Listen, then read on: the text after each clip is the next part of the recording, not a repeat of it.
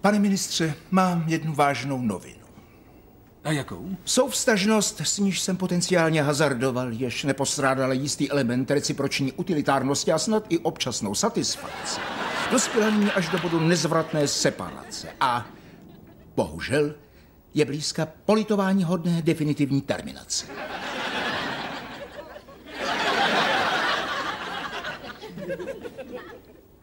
Rozumím. Tady můj život končí. Cože?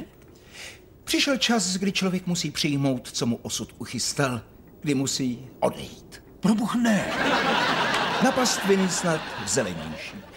Abych začal konečně sloužit onomu pánu, kterýž jest vyšší než každý z nás. Humphrey, to je mi líto. Dík, pane ministře. Lady Applebyová to ví? No, zřejmě to delší dobu očekávala.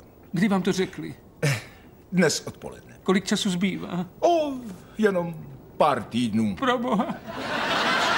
No, aspoň své věci mohu uspořádat. Tak bože, Humphrey, vy jste tak strašlivě statečný. Samozřejmě trochu strach mám. Člověk se vždy poněkud děsí neznámého, ale mám pevnou víru, nějak to překonat.